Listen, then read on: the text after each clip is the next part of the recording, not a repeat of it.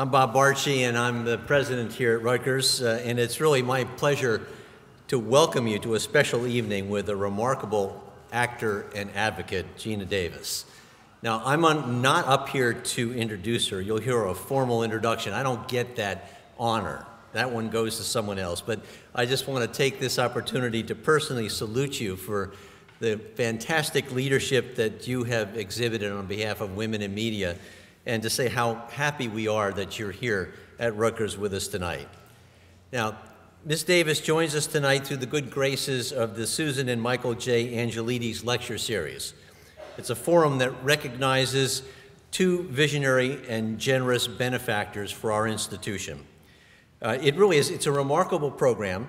Uh, it's one that Susan and Michael have put together support through the Institute for Women's Leadership, and it's enabled Rutgers to bring some of the foremost and most talented women in the world to our campus.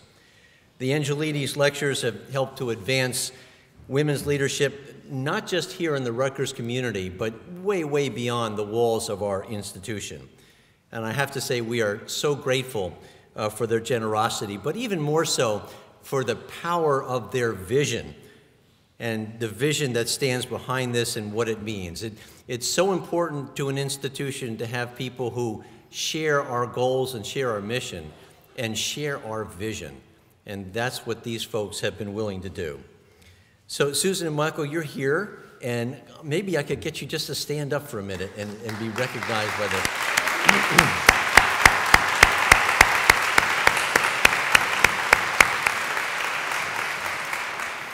So, as I mentioned, the Angelides Lectures are sponsored by the Institute for Women's Leadership. Um, it's one of the most influential centers of its kind in the nation. And the Institute and all the centers, it's an umbrella organization, and all the centers that are underneath it comprise one of the great strengths that makes Rutgers an outstanding institution. You know, you probe around the corners of this institution and you find all these remarkable little treasures. This is a big treasure, and it reaches into every part of our organization. I have to tell you that uh, my wife Frances is now a fellow of that institute uh, as she comes to join the faculty and she has been bringing home all these names, and then I've had a chance to meet them. And what I've found is that this is an incredible group of very, very powerful women um, who understand where they are in the world, they understand where they want to go, and they understand how to get there. And their mission is to help leadership in women in all the rest of our organizations accomplish the same things. Very, very impressive, um, especially to a man. So I must say, I am really impressed. Having said that, it really is a pleasure for me to turn the mic over to my distinguished colleague, Alison Bernstein, who runs the IWL, and I'm going to ask her to formally introduce our lecturer. And let me just tell you one or two brief sentences about Alison. She's a graduate of Vassar and Columbia. She's the author of three books, formerly the um, Associate Dean of Faculty at Princeton, um, but more importantly, from my perspective, she was for 14 years a vice president of the Ford Foundation, where she ran the program on knowledge, creativity, and free expression. So she has not only talked the talk, but walked the walk on this one, really understands where we're coming from. Most importantly, since July of 2011, she's served with distinction as the director of the Institute for Women's Leadership. So I give you Alison Bernstein.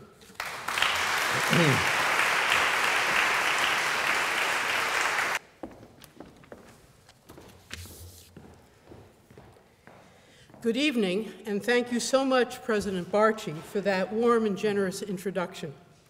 On behalf of the Institute for Women's Leadership Consortium, let me publicly welcome both you, Bob Barchi, and Dr. Frances Barchi to one of IWL's most highly anticipated annual events, the Susan and Michael J. Angelides Lecture. And let me join President Barchi in thanking Susan and Michael for their sustaining commitment for the work of the IWL. Thank you very much. Like President Barchi,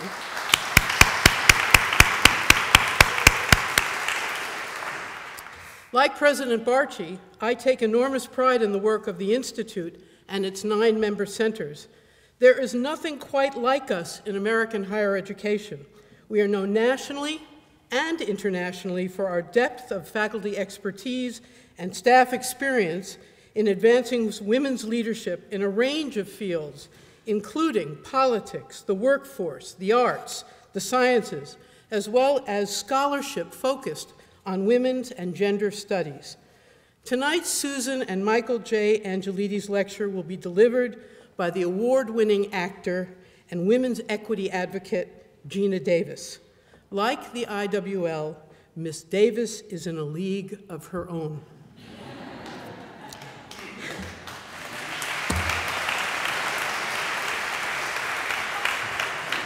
and for those of you a little young, the film, A League of Their Own, is now celebrating its 20th anniversary this year. I venture to say that this film about the struggles and triumphs of women baseball players, which is based on a true historical era, ha had one of Geena's most memorable performances. My 25 year old twin daughters still revere her character, the great, the gorgeous catcher, Dottie Hinson. I am sure all of us have our favorite Geena Davis performance. Students in the IWL's Leadership Scholars Program mentioned Stuart Little with enthusiasm. Mrs. Little? You don't look Mrs. Little. Their mothers probably remember Thelma and Louise as a game changing film. There you go. As a game changing film about two independent women who chose their own destinies. We could talk tonight for the remainder of the evening about Davis's outstanding work as an actor both in film and on television when she portrayed the first ever woman president in a primetime series, Commander in Chief.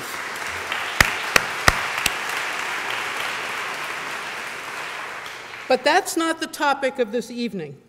Thanks to the Angelides' generous gift, Ms. Davis is here tonight to talk about a topic which the IWL, in collaboration with Rutgers' School of Communication and Information, has identified as an important and sadly overlooked arena of research and advocacy, namely women and media. Few in this chapel know that Geena Davis has been a major figure advocating for more women leaders in media fields, including as actors, but also as broadcasters, as owners, as studio heads, as writers, as directors, and as producers. Davis is also concerned about how the media, especially Hollywood, represents women and girls in feature films, in TV shows, and even cartoons. To examine this issue of women in media, Davis founded in 2006 a new nonprofit institution called the Geena Davis Institute on Women in Media. And I am thrilled to report that the IWL is now partnering with the Davis Institute on our new Women and Media Initiative.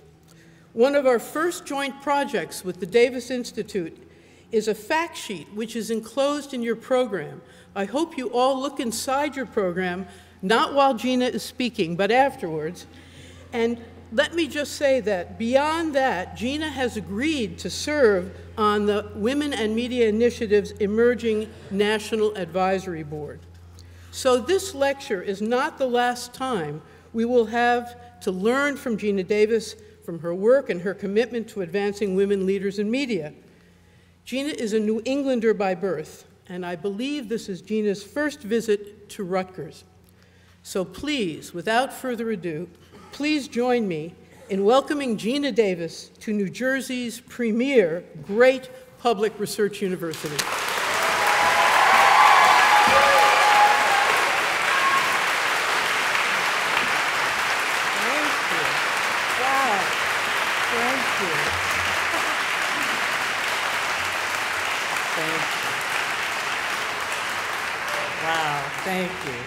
Thank you very much. Uh, thank you very much, uh, President Barchi, and uh, I adore you, Alison Bernstein, the director of IWL. I'm sure you're all thrilled to have her here with you.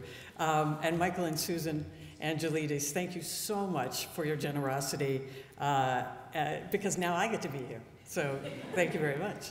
Um, and gosh, thank you for that insane reception. I'm, uh, I'm thrilled. You know, it's always a little weird for me to stand in front of people and, and speak. It's not my usual day job. And, and I always feel like, well, maybe people have an idea of what I'm like uh, because of, you know, parts I've played or whatever.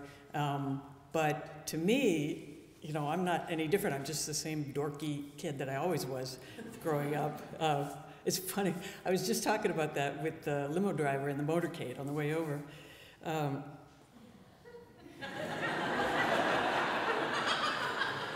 just the same, but then I was in a motorcade. Okay. Fine. Uh, so, so I am here. Maybe it's because it's a church and you feel like, you know, shouldn't get too rowdy. Um, I'm here today because I share a very, very similar passion with the Institute on Women's Leadership, which is to support and encourage and advocate for women and girls to reach their full potential as leaders. I have spent most of my adult life advocating for women and girls, um, among other things, by seeking roles that I thought might be constructive for women in some way. Uh, it's true, I made a film called Earth Girls Are Easy. but this was very early on. I think we could just put that aside for now. Um, so evidently, I announced that I wanted to be an actor when I was age three. This is what my parents tell me. i will digress just a second to explain why I call myself uh, an actor instead of actress. The dictionary definition of actor is a person who acts. It's not a man who acts. So I kind of feel like we don't really need a little on the end of the word to uh, connote femaleness. In fact, um, I think soon actress is going to sound as quaint and old fashioned as authoress and poetess, right? And doctoress. So uh, uh, I consider myself uh, a former waiter who became an actor. Um, so back to three years old, I, I, can't imagine what it was I saw that convinced me to go into acting, but my goal never wavered, and when it came time to go to college, I uh, decided to major in acting at Boston University. Majoring in acting, this is a very good idea because it always works out, right? my whole family, we were so removed from anything to do with show business that when I told my parents, you know, I'm I think I'm going to major in acting, uh, they were like, oh, okay. As if I'd said, you know, dentistry or, or something, uh, uh, something where you could get a job after you graduate. Um, but whatever the odds, I had this, this you know, unshakable faith that I was going to succeed, that I was going to be an actor. Here's a, a, a little embarrassing story that illustrates what I mean. Um, so the very first class at BU, was an orientation for the incoming freshmen. There's about 100 kids coming in. And the professor's uh, talking to us and says, You know, I have to tell you, you've chosen an incredibly difficult profession. In fact, probably only 1% of you will ever be able to earn your living as an actor. And I thought, These poor kids. oh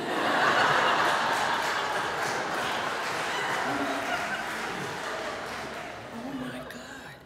So, Maybe I should amend what I said a minute ago. I either had this unshakable faith or I was too dense to understand uh, simple percentages. Um, after graduation, I have no idea how I'm supposed to now get a job in acting. I mean, shouldn't they tell the one person who's going to succeed how to find a job? Uh, but uh, as it turned out, my very first job was in Tootsie. It was in the movie Tootsie. I had a small part. It was partly because I was in a Victoria's Secret catalog, but that's kind of a long story. Um, but how insanely fortunate was that? That my very first movie is with Dustin Hoffman and Sydney Pollack as the director. And um, I was home one time and overheard my mom and a neighbor talking, and the neighbors saying, "My God, we can't believe it! Nobody can believe it! It's so amazing!" And uh, my mom said, "Well, she studied acting in college."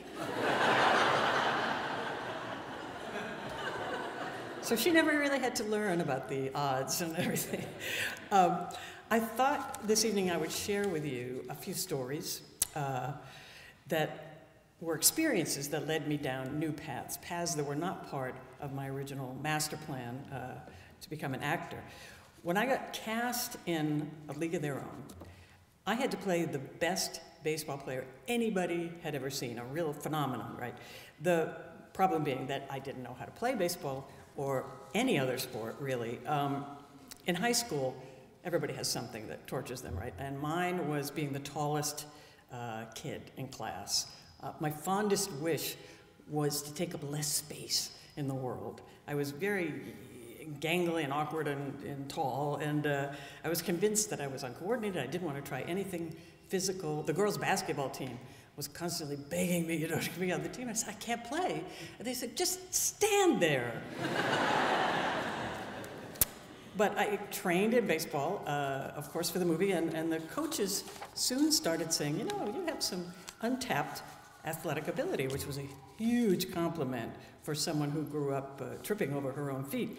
So after that, turned out I had to learn uh, a few other sports for other movies that I was in, like uh, taekwondo and fencing and horseback riding and ice skating.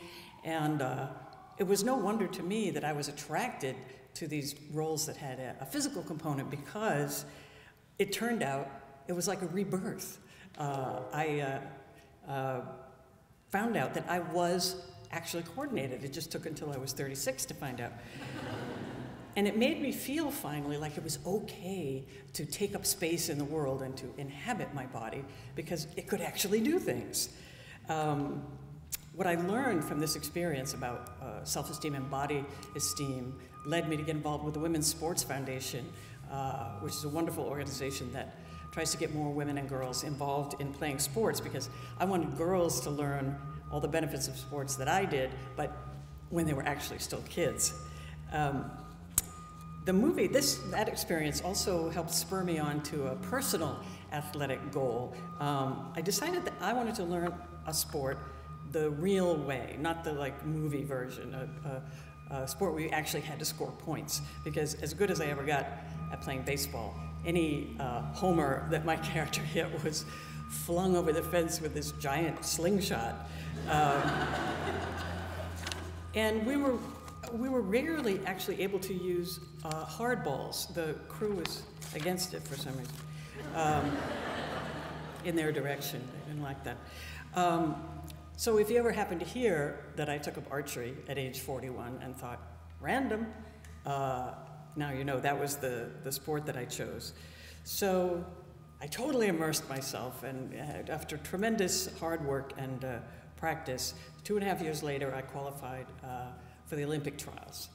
And uh, uh, what can I say? I, I, everything I do, I take too far. In fact, uh, I have to really watch what I get involved in because eventually I will want to go to the Olympics in it. the film that really had the most impact on my life was Thelma and Louise, uh, which really, in effect, changed the course of my life.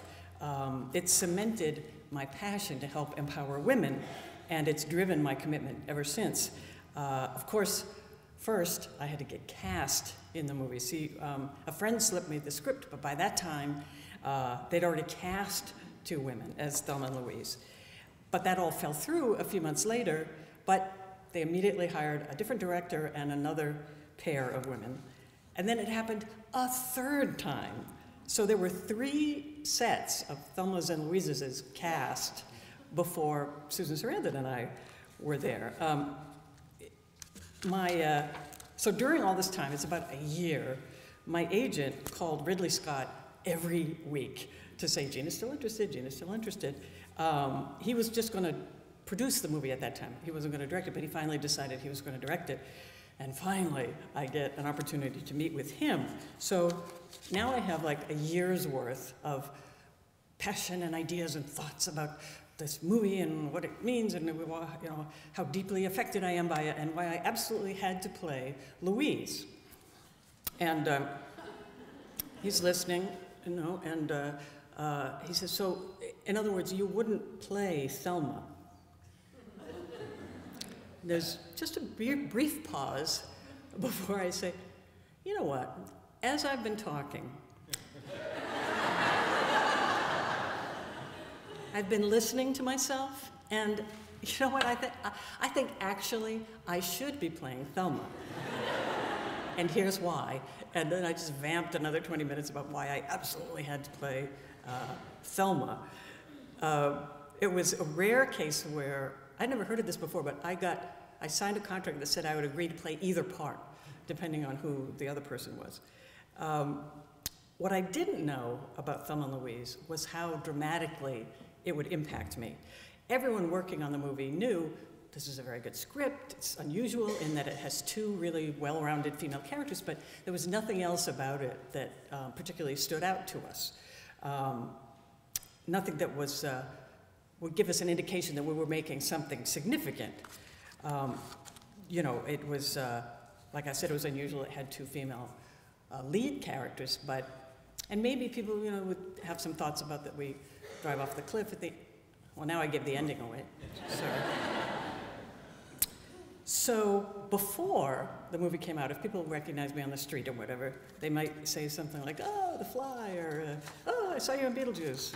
This was during my bug phase. Um, but after the movie came out, immediately after the movie came out, it was completely different. I had, like, you know, people stopping me in the street and you know, holding onto my clothes while they told me what the movie meant to them. And oh my God, it, it impacted us. And, and my friend and I acted out your trip.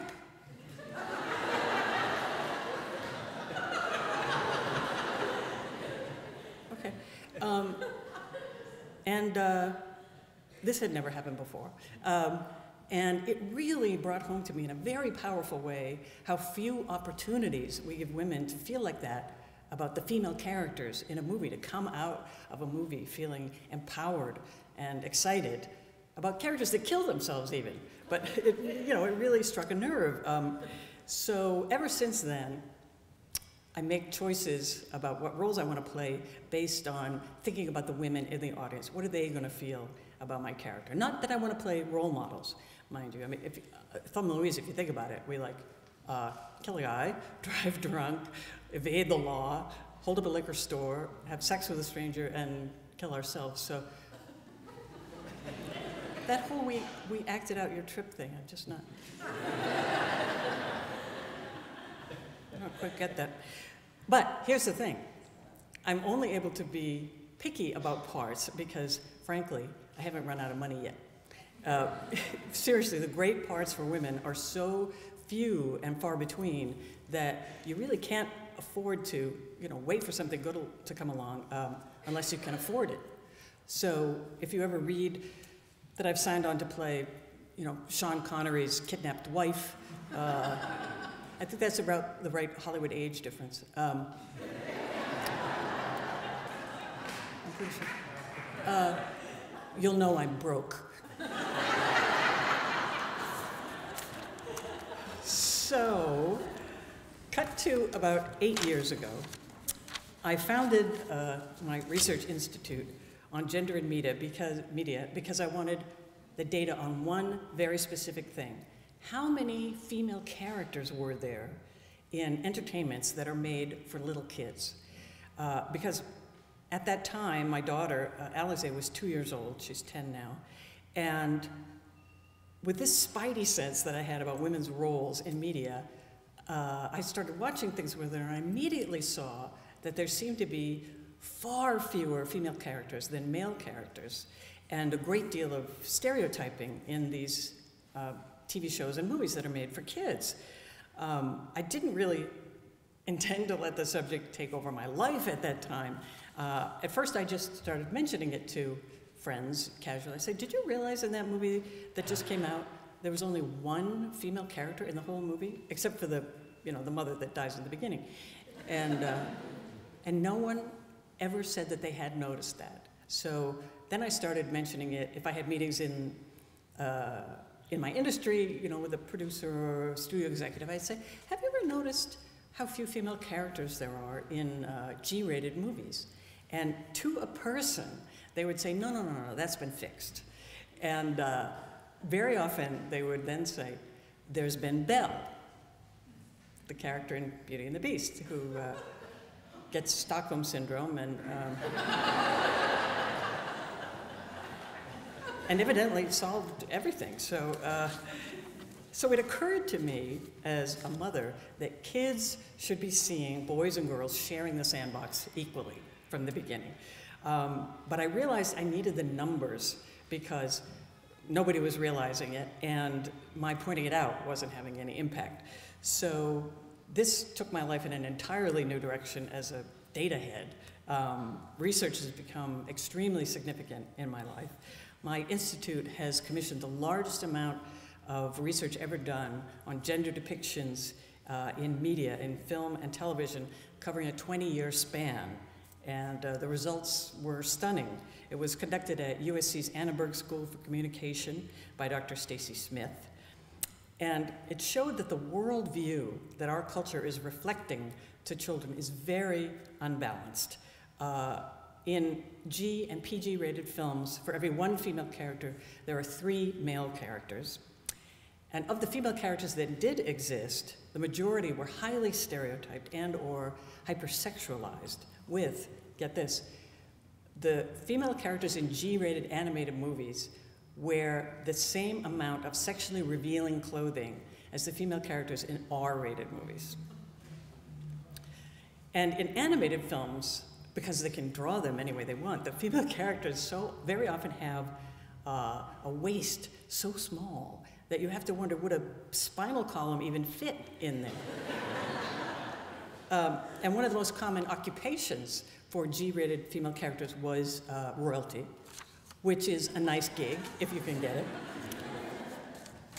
Our research also showed that uh, females were missing from critical occupational sectors. We just recently uh, completed a comprehensive study that looked at female occupations and careers uh, of characters in uh, popular films from 2006 to 2009, and not one female speaking character was depicted as a powerful American political figure across nearly 6,000 speaking characters in family films. We found that uh, in family films also, males hold 81% of the jobs and 84% of all STEM jobs. No female protagonists or co leads were shown with STEM careers. And looking at specifically uh, science and uh, computer science and engineering, the ratio of males to females was 15 to 1. So our research also showed that in G rated films, there was not one female depicted in the field of medical science, as a business leader, in the law profession, or in politics. There were characters in those fields, but all of them were male. Also, all of the criminals were male, but um, I'm not going to fight for parity in that area. Willing to just let that go. So you may be thinking, oh my God, what the heck? These, these numbers are horrifying. Uh, I don't want you to think that it's all bad news, okay? Because uh, we were able to find that um, we could measure an increase in the percentage of female characters over this 20 year span. It was uh, 0.7%. Meaning, by my uh, reckoning, that we will achieve parity in uh, 700 years.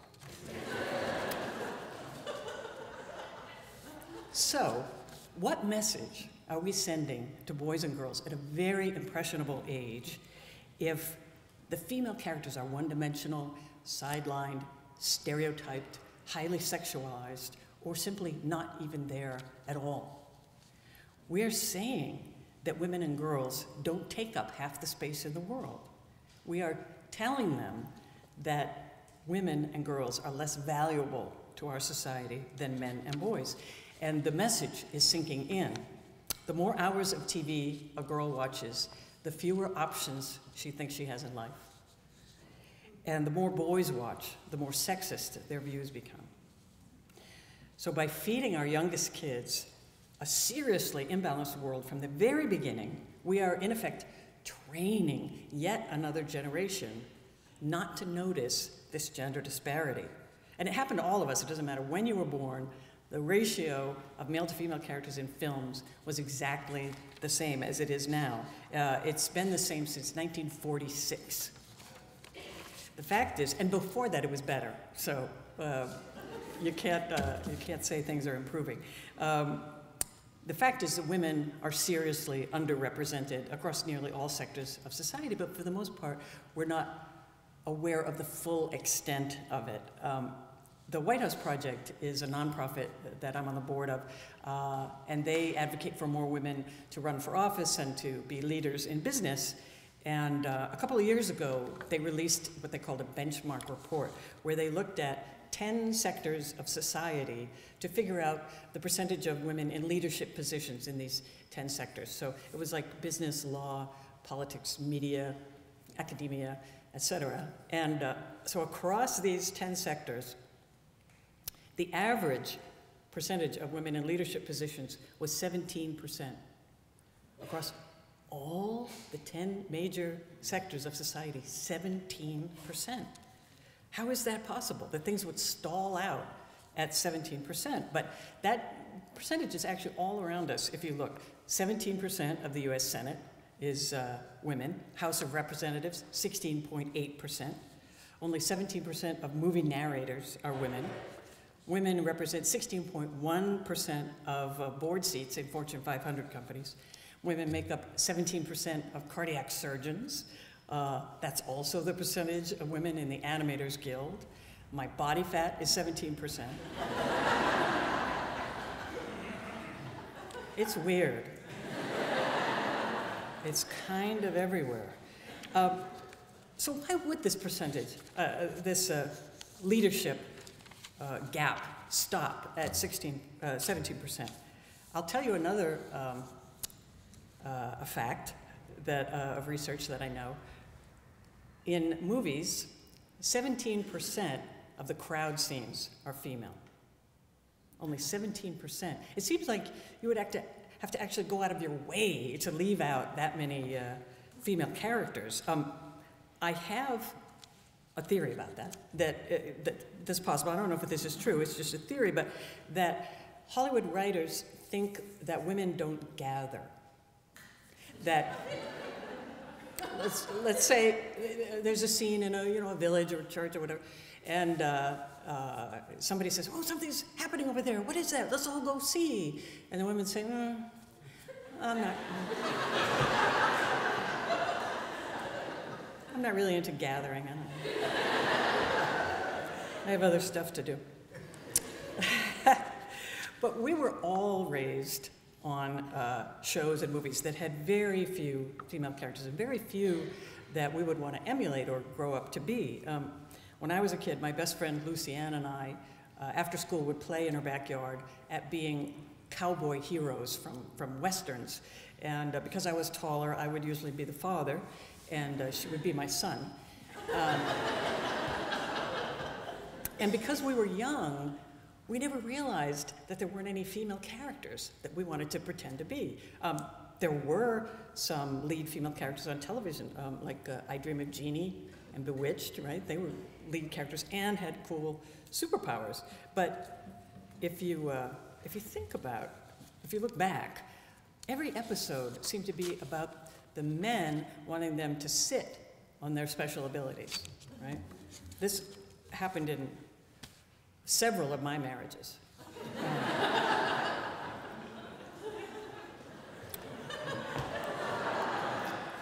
so, the fact is, gender inequalities remain deeply entrenched everywhere you look, and we know that change doesn't happen easily. In fact, in many areas of progress for women, uh, things have stalled or actually started moving backwards. So, what can we do about this? We know what the Institute of Women's Leadership is doing about it. Through their work, they are empowering girls and women to reach their potential to become leaders. And I met many of them today, and uh, they are an inspiring group of women. Uh, I, I, was nothing like them when I was their age. I'm nothing like them now, in fact. Uh, so, like Bill and Melinda Gates, I like to consider myself an impatient optimist, and I bet a lot of you are that way too. The time for change is now. And there are powerful agents of change here in the room today that I wanted to introduce to you. All of you, all of us, are powerful agents of change. And along with the Women's uh, Leadership Institute, we are going to embrace what Dr. Martin Luther King called the fierce urgency of now. what we need across all the sectors of society is to add women. We need more women on screen and behind the cameras. We need more women in the realms of academia and business and law and the military. We must add women. From the people reporting the news to the people making the news, add women. To the ranks of corporate boards, policymakers, prime ministers, and presidents, add women, encourage women, include women, vote for women, hire women.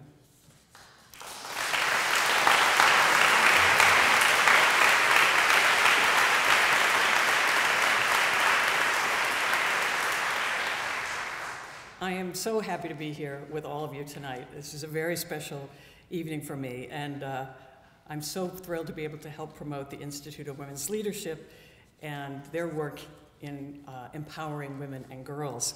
I want the day to come soon when I can share this story with my daughter. I can say, you know, once upon a time, women and girls were considered to be less important in the world than men and boys. And she would turn to me with an incredulous look and then say, Mom, are you making this up? Thank you very much.